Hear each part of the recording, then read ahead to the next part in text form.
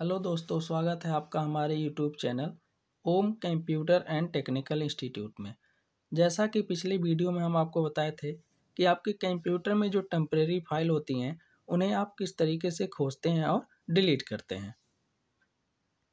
आज हम आपको बताएँगे कि आपके डेस्कटॉप आइकन जो होते हैं, उन्हें आप कितने तरीके से देख सकते हैं।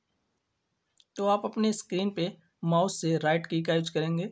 राइट की का यूज़ करते ही आपके स्क्रीन पे यहाँ एक व्यू का ऑप्शन दिखेगा। आप इस पर जब एरो की ले जाएँगे तो यहाँ एक ऑप्शन मिलेगा लार्ज आइकन इस पर जब आप माउस से क्लिक करेंगे तो आप देखेंगे आइकन की साइज़ आपके स्क्रीन पे बड़ी हो चुकी है।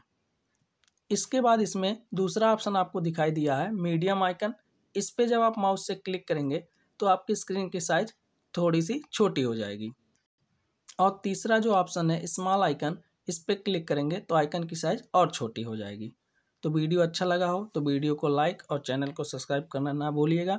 मिलते हैं नेक्स्ट वीडियो में और अधिक जानकारियों के साथ।